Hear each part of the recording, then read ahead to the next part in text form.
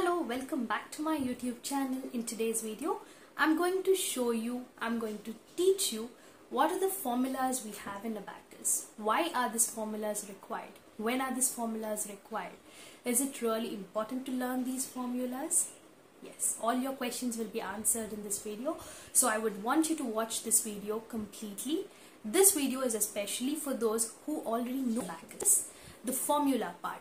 And for teachers who want to get themselves retrained, it's a must watch video for all of you. So for the ones who are learning, I have more videos on Abacus. So I would request you to kindly go to my playlist and watch the Abacus lessons or Abacus concepts to understand further. So this is a one shot video as I told you earlier. I'll be explaining you about all the formulas in Abacus, when to use them. Okay, and if you are a person who is willing to learn Abacus step by step, then you need to stay tuned to my channel. To stay tuned, you need to subscribe to my channel and click on that bell icon to get notified every time I upload a new video. And you, without skipping my video, I want you to watch the video completely. So from now onwards, I'm going to focus the camera to the whiteboard wherein I'll be explaining you about the formulas. So this video also helps you to recall the formula at any point of time without memorizing it. So without any further delays, let's get started. How many formulas are there in Abacus? There are a total of 34 formulas. Why are these formulas important? These formulas are important for fast calculation on the abacus tool and also if a child or anybody wants to visualize using the abacus tool these formulas are important without the formulas you will not be able to really visualize anything and solve mentally should we memorize these formulas not really required if you can watch this video completely without skipping it you will be able to recall the formula any formula at any point of time without even memorizing it when are these formulas used? These formulas are used specifically at certain point of time. I'll not be explaining you each of the formulas, but I'm going to make you understand those formulas easily and you should be able to recall the formulas at any point. So let's get started with those formulas. We have three sets of formulas. The three set of formulas are big friends. They are also called as big family, which is also called as big complement. The second set is small friends, which, is, which are also called as small family, which are also called as small complement. And the third set is combination formulas. They're also called as mixed formulas or combo formulas. So in all the three sets, we have both positive and negative components. Even here we have positive and negative components. And even here we have positive and negative components. In positive big friends formula, we have 9 formulas. In negative, we have 9 formulas. In small friends, we have positive 4 formulas, negative 4 formulas. And in combination or mixed, we have 4 formulas in positive and 4 in negative. That makes a total of 34 formulas. So in Abacus, we need to understand and learn these 34 formulas. When are these formulas actually used? Big friends formulas, they are used when the beads are not available. For example, imagine I have 2 in the house pointer 1 rod and I need to add 8. To add 8, I'll first check the availability of beads. Here, if I see I have only 7 beads, 7 more beads available to add. I don't have 8. In this situation, I'm going to use the big friend formula. So, big friend formula for that particular number. So, I want to add 8. I don't have 8. So, I'm going to use the big friend formula for 8. So, for 8, the big friend formula is plus 10 minus 2. So, my answer will be 10. Now, let's see the small friends formula. Small friends formulas, they are used when the beads are indirectly available. For example, if I have 2 in my ones rod again and if I have to add 3. To add 3 I have enough beads. I have 7 beads to add but I don't have 3 beads directly available. So they are indirect. They are indirectly available. This is when I use the small friends formula. Small friends formula for plus 3 is plus 5 minus 2. So my answer will be 5. Now let's see the combination formula. Combination formulas are those formulas which are the combination of big friends and small friends together. And when are these used? They are used when the big friends formula cannot be used alone. For example, if I have 15, 1, 5, 15.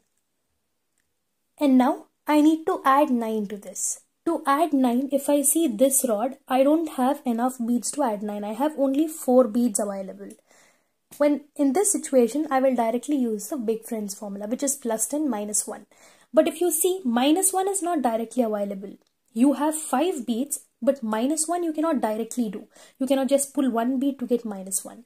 You have to use some formula. So this is when I use the combination formula. Combination formula for plus 9 is plus 10 minus 5 plus 4. So my answer will be 24. Before I tell you about the formulas, let me explain you how to check the availability of the beads to add and to subtract. And if you have not yet watched my video on basics abacus day 1, I would want you to definitely watch that video and get back to this video. The video link is in the description box. Now, to add any number, you have to make sure that the beads are away from the middle bar. So this is the middle bar and the beads should be away. Those are the available beads to add. And when all the beads are touching the middle bar, these beads are available beads to subtract. That means we can subtract from this, we cannot add. When the beads are away, we can add them but we cannot subtract them. Now let's go to the formulas set wise. As I told you, we have three sets of formulas, big friends, small friends and combination. We'll go to the first set. In that first set, we'll see the positive components. Before that, we should know who is called the big friend. The big friend is 10. We should remember this, that 10 is the big friend. And we should know the big friends of all the numbers. So, for 9, 8, 7, 6, 5, 4, 3, 2 and 1. So let's find the big friends of all these numbers. So big friends are ideally the number when added to this number that should add up to 10.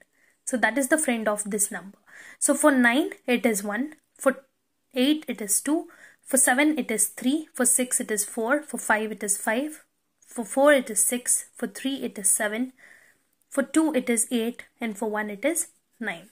So ideally 9 plus 1 is 10, 8 plus 2 is 10, 7 plus 3 is 10, 6 plus 4 is 10. Likewise it, it goes 1 plus 9 is 10. So we should know the friends, the big friends of all the numbers.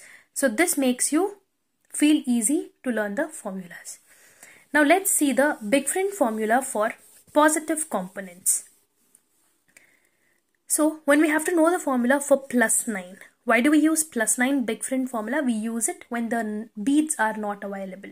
When 9 beads are not available to add in a particular rod, this formula is used. So since the formula, since the number is having a plus sign, the formula also starts with a plus sign. We are talking about big friends, so it will be 10 and the friend of 9 is 1 and that will be a negative number. Since this is a positive number, the friend will be a negative number. Likewise, when we go to plus 8, it will be plus 10 minus 2. For plus 7, it will be plus 10 minus 3. For plus 6, it will be plus 10 minus 4. For plus 5, it will be plus 10 minus 5. For plus 4, it will be plus 10 minus 6. For plus 3, it is plus 10 minus 7. For plus 2, plus 10 minus 8. For plus 1, plus 10 minus 9. So these are the positive components big friends formula. Now let's see the negative formulas that is negative components.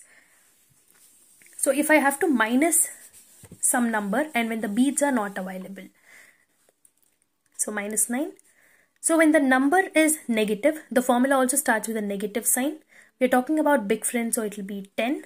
And then 1 is the big friend of 9. Since this is negative, the friend will be positive. This is how we can remember and recall the formula. Likewise, for minus 8, it will be minus 10, plus 2. For minus 7, it will be minus 10 plus 3 minus 6 is minus 10 plus 4 minus 5 is minus 10 plus 5 minus 4 is minus 10 plus 6 minus 3 minus 10 plus 7 minus 2 minus 10 plus 8 minus 1 minus 10 plus 9. So a total of 18 formulas are there in Big Friends formula. So 9 positive components and 9 negative components. And Big Friends formulas are used when the beads are not available. Now let's move on to the Small Friends formula. So small friends formula are for small numbers and we have 8 formulas in small friends. 4 positive components and 4 negative components. So small numbers are considered to be numbers below 5. So they are for plus 4 the formula is plus 5 because we are talking about the small friends formula. So the number will be 5 here. Since the number is positive, the formula starts with a positive sign. Now we have to find the friend of 4. So as I told you, when this friend and the other friend is added together, we have to get 5. That is the concept. So now what should I add to this number to get 5? I'll add 1. So 1 is the friend of 4. So that will be a negative number, minus 1. Likewise, for 3, it will be plus 5 minus 3 plus 2 is 5. So it will be minus 2.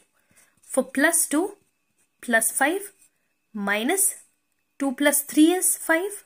So plus 5 minus 3. For plus 1 it is plus 5 minus 4. These four formulas are for positive components. For negative components, for minus, minus 4 equals, the number is minus, the formula also starts with a minus sign. Minus 5 because we are talking about small friends. Friend of 4 is 1. That will be a positive number because this is a negative number, the friend will be positive. For minus 3, it will be minus 5 plus 2. For minus 2, it will be minus 5 plus 3. For minus 1, it will be minus 5 plus 4. So why do we use the small friends formula? We use the small friends formula when the beads are indirectly available. The beads are available but they are indirectly available. When they are indirectly available, we use the small friends formula. Going on to the last set of formulas, they are combination formulas. Combination formulas are the combination of two sets of formulas that is the big friends and the small friends. And these combination formulas, so as you can just imagine, you order for a combo meal. So combo means you have everything. That means it is large, it is huge. So combination formulas are for large numbers. So large as in the numbers which are above 5. So they are 9, 8, 7 and 6. So let's find the formula for 9 that is plus 9. Why do we use plus 9 formula? When the beads are not available, we use the big friend formula. But when big friend formula cannot be applied.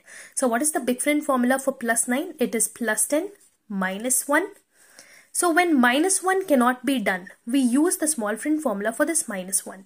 The small friend formula for this minus 1 is minus 5 plus 4. So this will be a combination formula. So the combination formula for plus 9 will be plus 10 minus 5 plus 4. How can we remember this formula easily? See the number is positive, the formula will start with a positive sign. As I told you, it's a combination. So you will have 10 which is the big friend and also the 5 which is the small friend.